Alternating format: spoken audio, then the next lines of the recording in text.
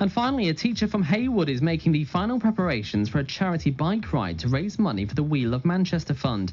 Paul Cooke, who's a head of year at Siddal Moor Sports College, and his two brothers are riding 120 miles to Scarborough starting from Saturday.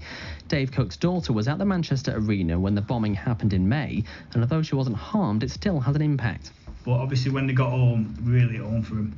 Obviously, the young minds couldn't really contemplate it all. So, yeah, it was it was hard. It was hard to deal with, and I felt sorry for him to have having to deal with that. So, yeah, that's basically uh, why we're getting involved in such a such a charity. The next update is here in half an hour, but there's constantly breaking news at Tower FM. Elsewhere, and a teacher from Heywood is planning to ride to Scarborough to raise, raise money for the We Love Manchester Fund. Starting on Saturday, Paul Cooke, who's head of year at Siddal Moor Sports College, and his two brothers will ride 120 miles in two days to try and raise a, a £1,000. The student from the school was caught up in the attack along with Paul's niece. He told us they wanted to do something to help. Feel like we needed to do something more for Manchester.